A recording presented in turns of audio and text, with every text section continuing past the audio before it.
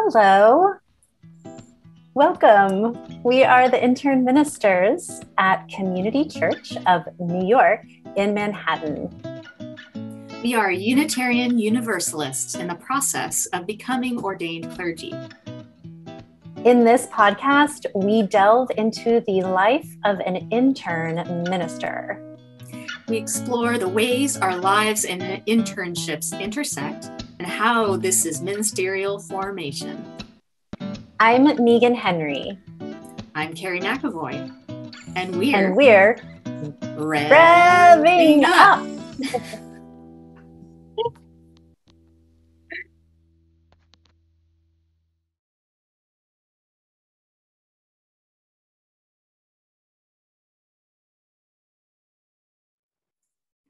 Welcome back to the second show of our second season of Revving Up. We're so glad that you're here watching, listening, and being part of our community conversation. Uh, just a reminder if you want to join our Facebook group, go to facebook.com groups revving up and you'll find out how you can subscribe and comment. And we always love to hear what you have to say about what we have to say about what you have to say, etc. Also, you can reach out at podcast at ccny.org. So, how are you today, Meagan? I'm doing pretty well. Just um, sitting here in Midtown Manhattan, looking out my window at the gray skies and the rain, and actually just had a little bit of thunder and lightning. So, it's kind of an exciting, stormy day. And I'm excited to see if it arrives in Connecticut while we're recording. That would be pretty interesting. Yeah, it's so nice to get some rain for I'm sure your, you know, yard and flowers and all of those nice things. Yeah, yeah. So today we were thinking about expanding more on prayer. Last time we talked about CPEs, that's clinical pastoral education, and we started talking about prayer and um, how that's not necessarily uh, something that Unitarian Universalists come into CPE knowing how to do. Yeah, I think, well, I've been thinking about this a lot, Carrie, because I am, um, I was born and raised Unitarian Universalist. And I think that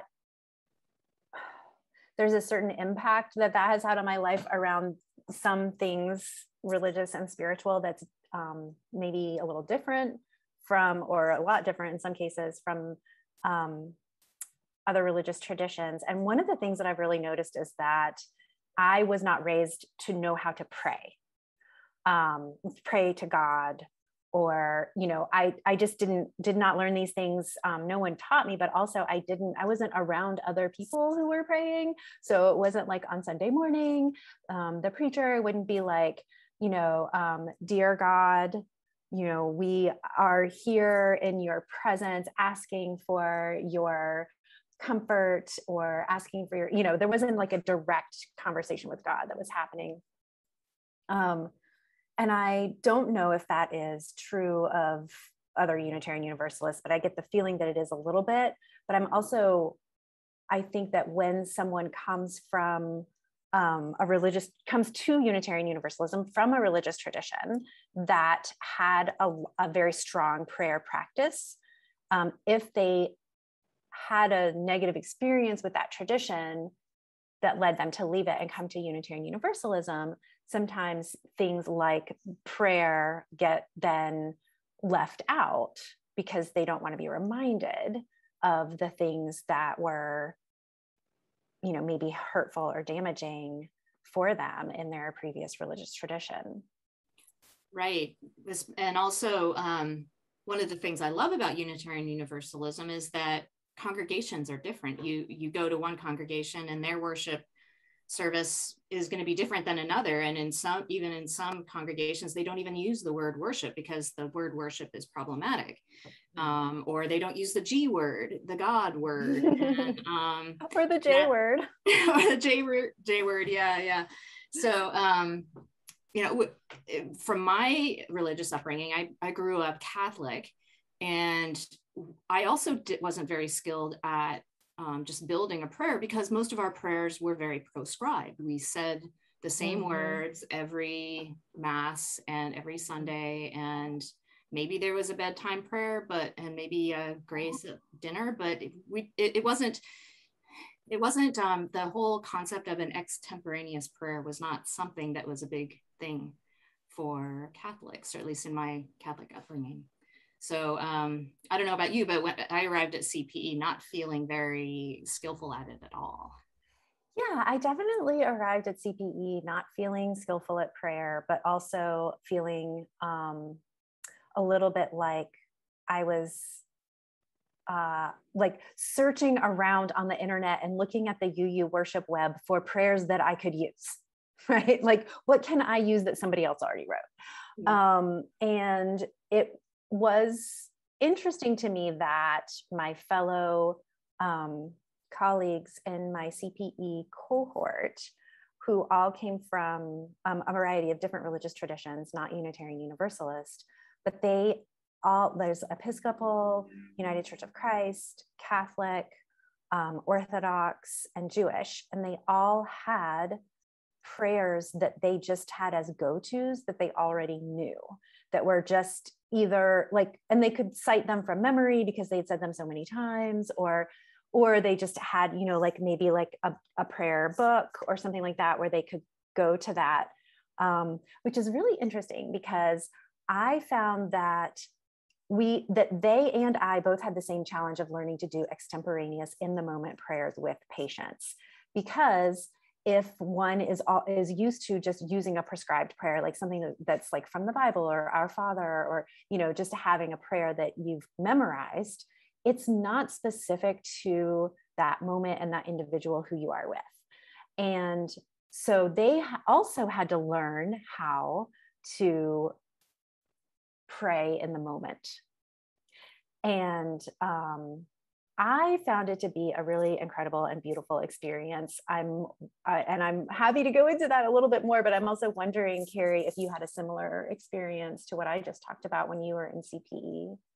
Yeah, absolutely. It was um, it was a little nerve wracking to to know that that would be the expectation. Sometimes was to create a spontaneous prayer, but it um, it was something that I. Tr- I offered at the end of every visit. It was a way for me to tie up the visit. And I think we talked about this a little bit in our last session, but just how it was a way to let them know that I had been listening and that I cared. And today, um, I'm thinking about how prayer is really building a relationship with the divine.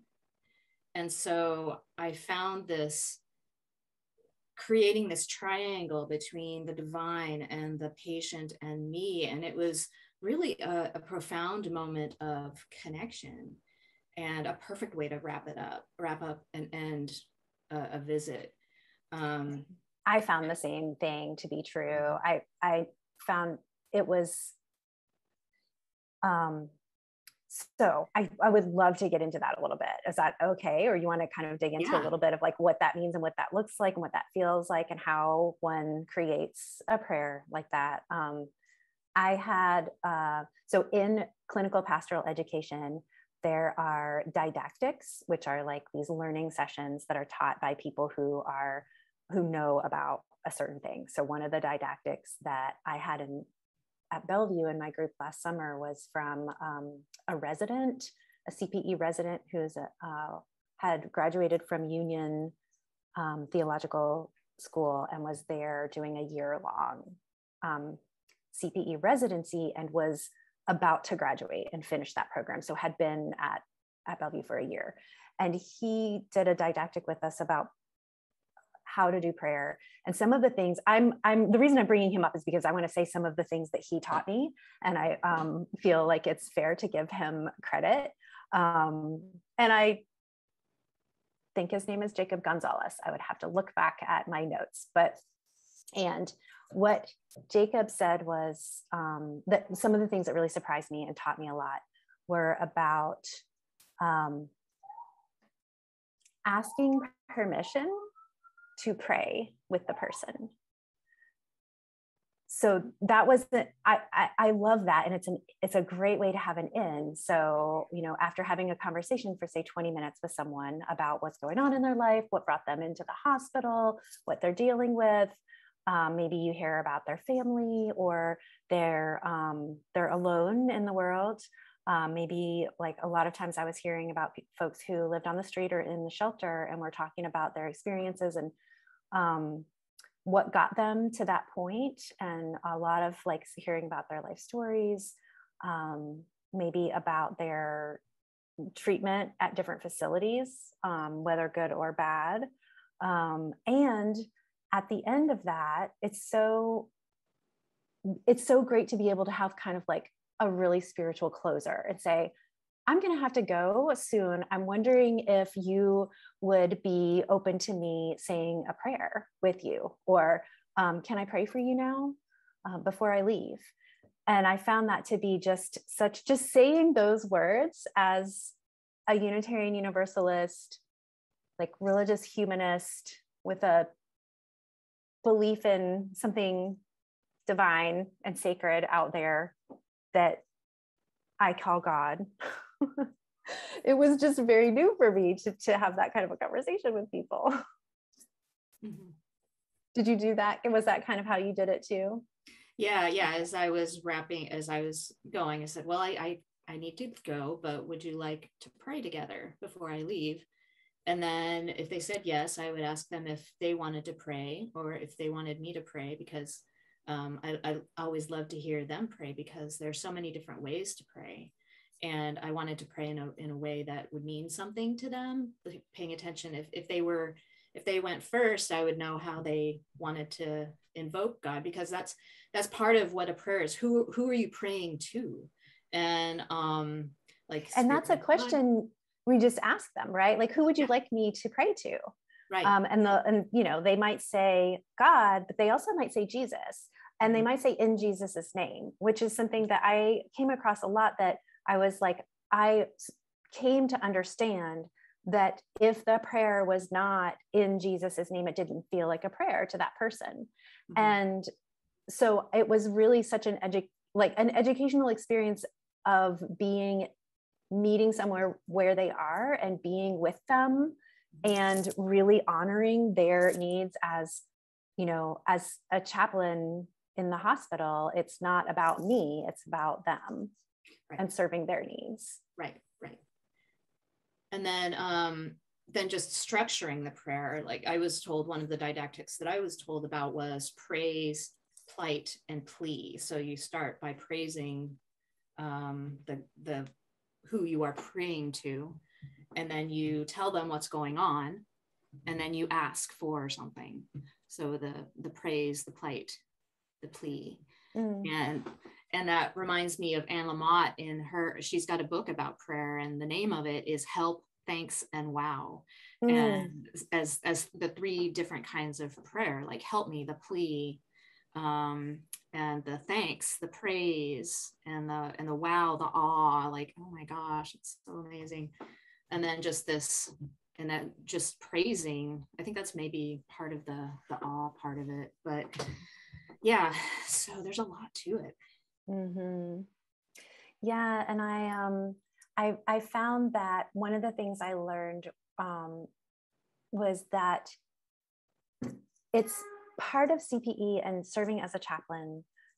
A, a huge part of it, maybe the whole thing, is about being present with the person who you're in a, the who is speaking to you. So listening to that person and reflecting back what I'm hearing them saying. Maybe I say it in a little bit of a different word. Like, oh yeah, so you've you um let me think of an example. Um yeah, that sounds really painful. Um, you know, just um I hear you. I would be angry at God too right now if I were in your shoes. Tell me more about that anger. What is that? What does that feel like to you? You know, just things like reflecting back what we hear the person saying mm-hmm. um, and then building that into the prayer at the end.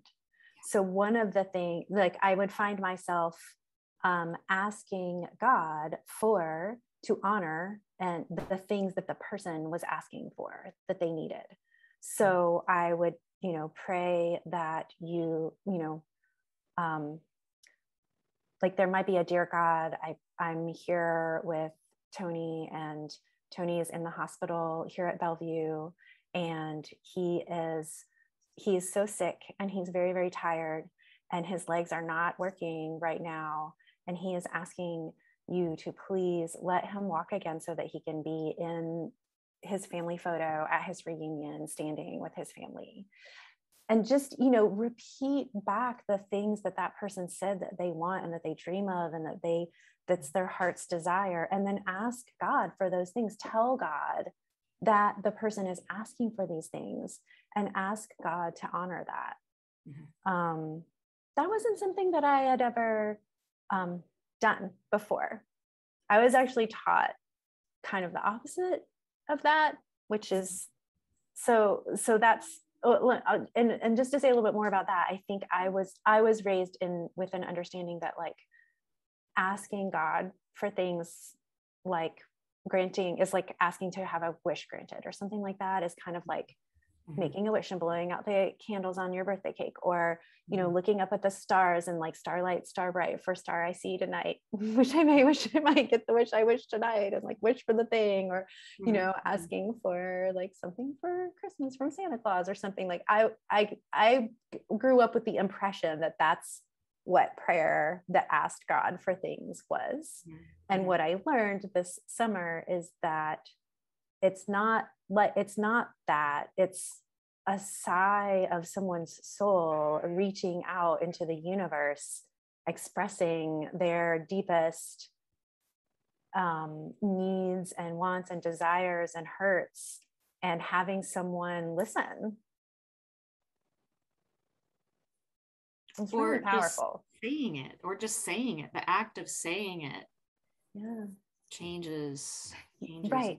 yeah. Yeah yeah right like the person saying it out loud to someone who is listening is giving them is empowering them to say the thing but then hearing that person repeat it back to them mm-hmm. to god mm-hmm. a person who's a chaplain who's talking to god for them with them mm-hmm. holding their hand and talking to god like that's it's so powerful and mm-hmm. um i mean there are a lot of things that i learned at cpe this summer but i feel like that's probably maybe that's the thing I'm walking away with that's kind of the biggest mm-hmm. um, learning for me spiritually and personally. Mm-hmm. Yeah, I remember there were moments. Um, so one of the units that I would frequent was the burn unit, and often people in the burn unit are unconscious. And so um, in those moments, I would I would sing. Oh, and, that's beautiful. Um, so I would sing Amazing Grace, which I think is a prayer. And I would sing mm. Spirit of mm. Life, which I think is a prayer. Oh. And um, so there are many, many, many different ways to pray, and it doesn't mm. even need to be words. Like, um, like when we were preparing for this session, we were talking about walking a labyrinth or um yeah the, the little zen garden things or you know mm-hmm. mindfulness is a profound prayer mm-hmm. It's building your relationship with the divine i think mm-hmm. is a mm-hmm. prayer that's what the whole purpose of prayer is well it certainly worked for me let me tell you having conversations multiple conversations with god every day over the summer really um, built my relationship with God for sure. Like I don't usually talk to God this much, um, but it would certainly um, gave me a different kind of relationship with God and my understanding of God, you know, and um, with also just with uh, my spirit, my own spirituality. And I, at the end of my program, did my final day, my final um, pro- verbatim was a verbatim with God. So I did, I had my own conversation with God and wrote it down and then kind of analyzed it and reflected on it spiritually, which is great. Yeah, some profound moments. So, something else I wanted to just note about uh, prayer as I experienced it in my presence in the hospital setting, that the particular hospital that I was in, I would imagine this can happen definitely anywhere, but I was um, just like really aware of the kind of power and authority that comes with being a chaplain. Um, and wearing that chaplain tag around my neck and, you know, wearing kind of like business casual street clothes around the hospital, not wearing, you know, scrubs and not wearing a collar or something like that, you know. So I, you know, I was definitely presenting as a chaplain, but not medical staff, not hospital staff. And um, also as a white woman, like I'm walking into people's rooms. Um, and you know every t- every time i would walk into somebody's room i was i really tried to be aware of the identity that i was bringing with me. Um, i'm 49 um, in the hospital i always wore my hair up and um, i you know was wearing a mask and everything. And i think i looked maybe a little bit younger white woman and i you know I guess I presented kind of like caring, confidence, you know, but definitely um, was aware that most of my patients who I was serving were um, housing insecure, um, and may, many don't have any health insurance, and that's one of the reasons that they're at Bellevue, and are um, all you know m- many African American, many um, Asian patients, many um, Latinx patients. So, um, in India, my, there was I had several folks from India that I um, was serving, and so I just I felt like an extra responsibility as a like a white woman coming into people's rooms with the power and authority as a chaplain. All of those layers right? So it was just really I wanted to be really aware of it and just notice myself and my, you know, when was it a, I, I just tried to be really respectful of every single person and their needs. And people in the hospital often, not only were they um, different from me for so many of those identity aspects, like racially and social, socially and economically, and often religiously many of the people who I was encountering were um, very deeply religious and primarily Christian. And so for me, it was just really important to be, to defer to them and to listen to them and to be really respectful and to give them, to empower them, to give them some thing that they could feel real that like a bright spot or something they could feel good about about having been in that hospital stay. And that if they what if they wanted to tell me to go away then i would just go away and respect it. Um, just you know all of those i just it was like a whole extra layer. And i felt like my cpe program was really good at having us every single one of my co- six cohort were white and so it was really an interesting dynamic and we talked about it and we were aware of it and our educator helped us remember that and talk about it and think about it and and in and i just think it's important for people to know that when people are doing a cpe program at least in my experience we are also thinking about all of those layers of identity also. It's not just like oh like this is all just a flattened like you know it's all about just like religion and i'm going to listen to you and pray with you. Like there's so many more things that we think about and that we take into consideration and that we build into what our program and what we're doing and our learning. And it's i guess there's a lot of intercultural kind of competency work that happens in the program. Absolutely. Yeah. Yeah that was similar to my program as well. Um, and just from, uh, I remember in a pastoral care class, someone had said um, you cannot tell anything from someone who's wearing a, a crucifix around their neck. It's just it means some you cannot assume anything. So I would always try to come in humbly and um, and try to see the person as a blank slate. Like I have no, I don't know anything about you, and so let's.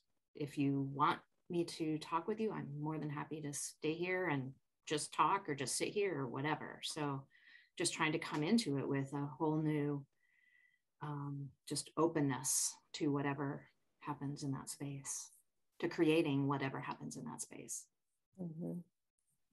yeah i actually have a pretty interesting kind of funny story to to end with if we want to do that all right so I was working in, this was very early on in my CPE, and I was shadowing one of the experienced residents who was about to graduate.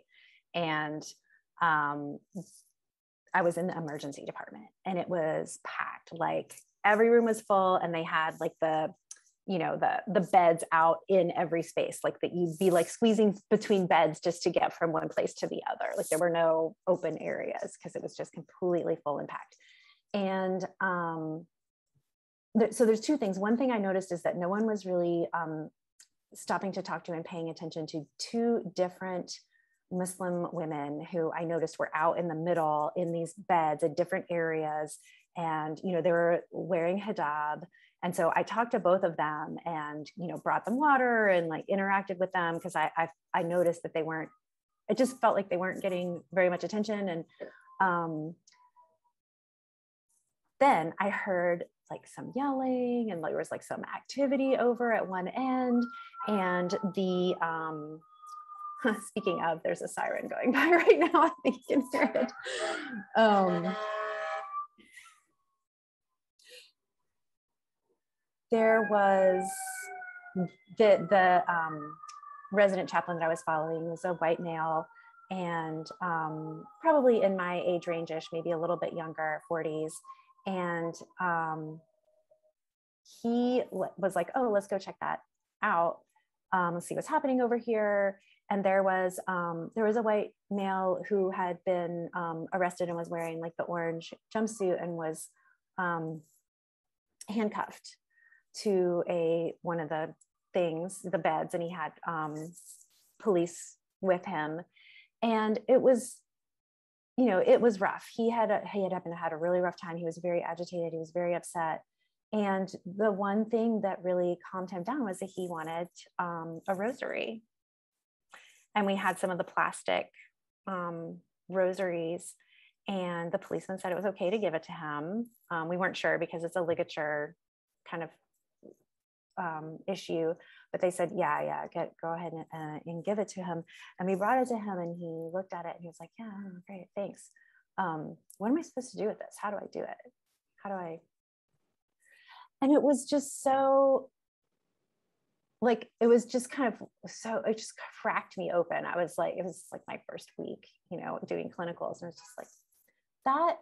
I don't know how to do that. First of all, um, and I'm gonna have to learn that and find a little sheet of paper that tells people how to do it and you know all of that. But just the notion that the th- the one thing that he really wanted was something to hang on to that felt familiar to him that he could have something. He wanted to have something that he could hold on to. He's handcuffed. Like this is there's not much agency in that situation. And um but he didn't know how to do it. He didn't know how to do, do the prayer um, but he knew that there was something there was a reason that he could that he, that he should or that he you know it felt familiar. Um, and just that kind of it just seems like we all like many of us in many different situations and circumstances there is we're looking for some comforting ritual um, something to ground us something to um, just help us get centered uh, something that maybe is familiar from childhood or even just from like this is what i think you're supposed to do if you're a religious person and i need that right now um, so it was just really interesting and um, i thought a lot about that just that that need to have that thing that religious object um, something to hold on to. And then also knowing that there's something there that one wants.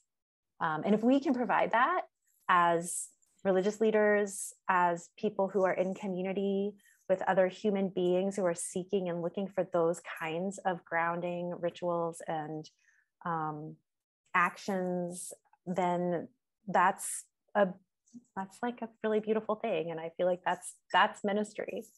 Absolutely. Absolutely